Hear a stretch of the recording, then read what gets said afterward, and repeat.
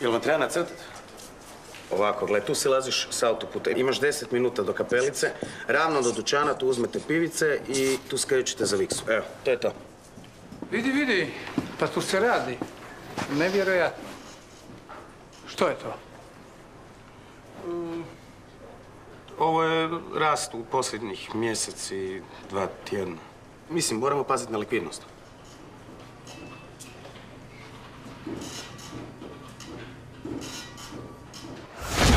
Pan. Osvježi dan.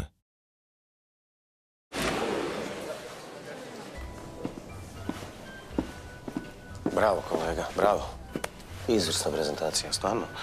Ne mislim, a, situacija na tržištu je okrutna. Ne, ne, ne morate mi ništa govoriti. Sve znam. Stvarno konkurencija zna biti nemilosrdna.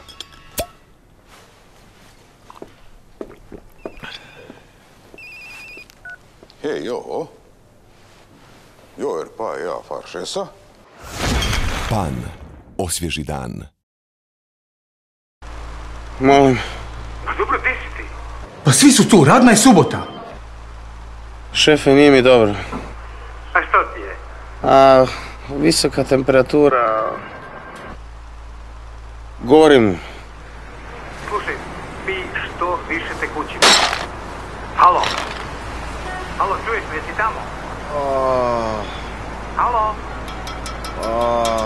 Halo? Pan. Osvježi dan.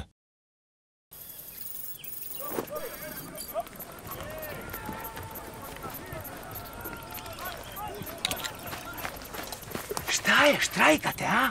Ajmo, pozicije.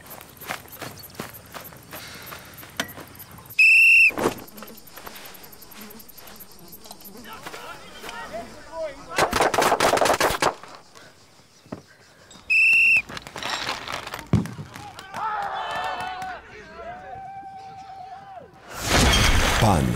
Osvježi dan. Aj dodaj pan.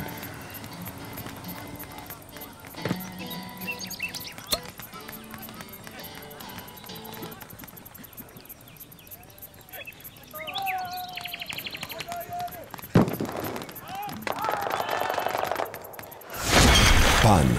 Osvježi dan.